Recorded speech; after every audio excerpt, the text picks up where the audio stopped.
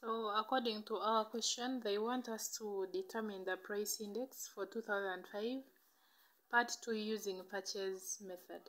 In the previous video, we looked at the first method, which is Laspeyres. So we are going to look at Paasche's method. Yeah.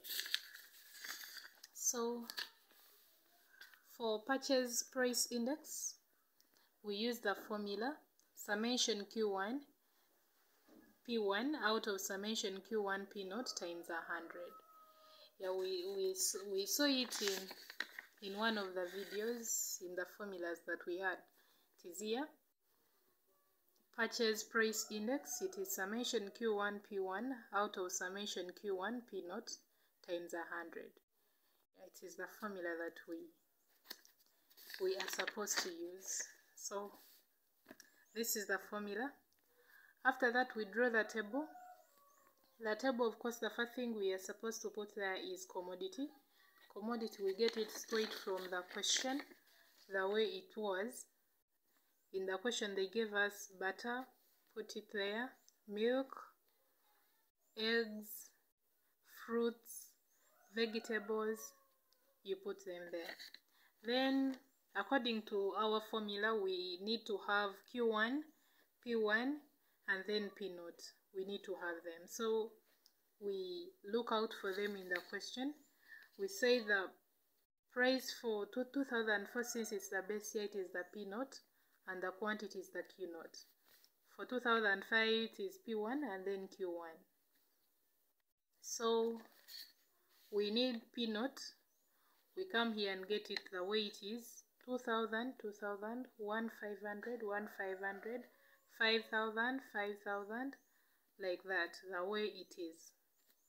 Then we need p p1 which is for the current year 2005 it is it is here.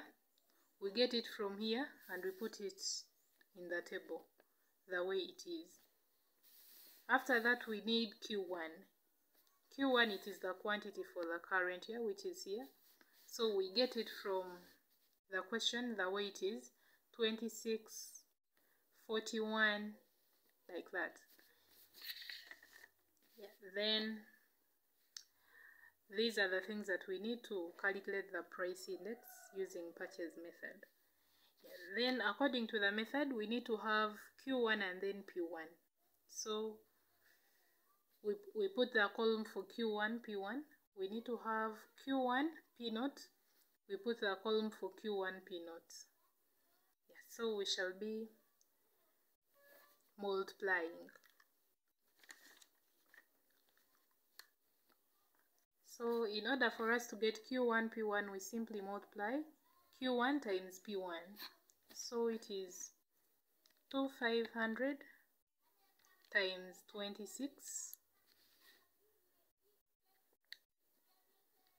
we get 65,000 it is what we put here. Then the next one it is 2000 times 41 2000 times 41 which is 82,000 It's what we put here. The last one it is 1 500 times 13 1 500 times 13 is 19500 it's what we put here. Yeah, even for these two you do the same. Then q1 p naught we multiply q1 times p naught. So the first one it is 2000 times 26 2000 times 26 which is 52,000 what we put here. Then the last one 1000 times 13 1000 times 13 which is 13,000 that's what we put there. So we do the same thing for the rest of the commodities. Yeah. Then after that we need to get summation q1 p1 we add all of these to get this then we need summation. Q1 p naught we add all these to get this. Yeah after that we, we come to our formula. We say price index according to Paasche's. It is summation q1 p1 out of summation q1 p naught times 100 so we already have summation q1 p1 it is here. So we get it and substitute it. Then we have this it is here we get it and substitute it. Yes so after substituting we multiply by a hundred. Yeah, so what we get let me put it in the calc.